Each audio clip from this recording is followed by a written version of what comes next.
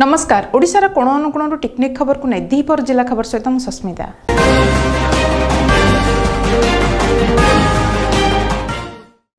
ନରସିଂହପୁରରେ ଖୁବ୍ ଧୁମଧାମରେ ପାଳିତ ହୋଇଯାଇଛି ଲକ୍ଷ୍ମୀ ପୂଜା ବଡ଼ମ୍ବା ନରସିଂହପୁର ବାଲିଝରି ବଡ଼ ବାରେଣା ଅଚ୍ୟୁତପୁର କୁରାଞ୍ଜ ଶ୍ୟାମସୁନ୍ଦରପୁର ଆଚଣ୍ଡା ବହୁତ ଗ୍ରାମରେ ଧୁମଧାମରେ ପାଳିତ ହେଉଛି ମା ମହାଲକ୍ଷ୍ମୀଙ୍କର ପୂଜା। ପ୍ରତ୍ୟହ ସନ୍ଧ୍ୟାରେ ରାମନୀଳା ସଂକୀର୍ତ୍ତନ ଅପେରା ପରିବେଷଣ କରାଯାଉଛି ଏହା ତେଇଶ ତାରିଖ ପର୍ଯ୍ୟନ୍ତ ଚାଲିବ।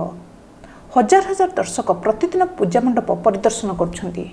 ନରସିଂହପୁର ଦେବଦତ୍ତ ଅନିମା ମହାପାତ୍ର ମେଘନାଥ ରଘୁନାଥ ଈଶ୍ୱର କାହ୍ନୁଚରଣ ଏବଂ କାର୍ତ୍ତିକେଶ୍ୱର ନାଥଙ୍କ ରିପୋର୍ଟ ଓଡ଼ିଶା ମୋବାଇଲ ଟିଭି। ବର୍ତ୍ତମାନ ପାଇଁ ଦ୍ୱିପହର ଜିଲ୍ଲା ଖବର ଏତିକି। ଅଧିକ ଜାଣିବା ପାଇଁ ଲଗ୍ଇନ୍ କରନ୍ତୁ Odisha mobile TV dot com. ନମସ୍କାର।